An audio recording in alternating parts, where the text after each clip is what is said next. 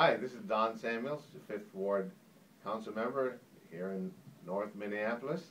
And this is my Fifth Ward weekly address to the community on issues of importance. And uh, I have a special item today on our agenda, and that is the expansion of the Nice Ride bike share program in North Minneapolis.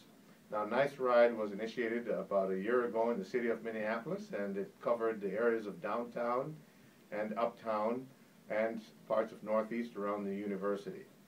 And uh, the city last year put some money on the table, about $238,000, uh, to fund expansion into North Minneapolis.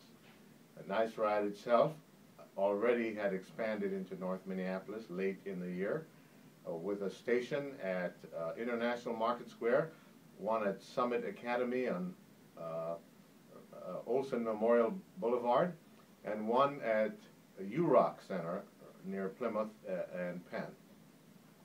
And now there are going to be six to eight more centers opened in North Minneapolis. So we are the first neighborhood outside of the university and downtown areas and uptown to get a, a solid network of bike share, nice ride bike shares. And uh, so we had a, we created a community process to decide where those uh, bike kiosks were going to be.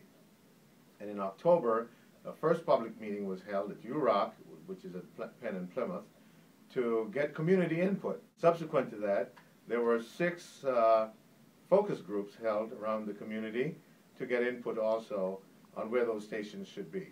Now, on January 19th at 6 o'clock at the UROC Center, uh, the community is going to get back together again at UROC to uh, give, uh, you, there is going to be a, an uh, exposure to the community of what exactly were the findings of those focus groups and that uh, outreach.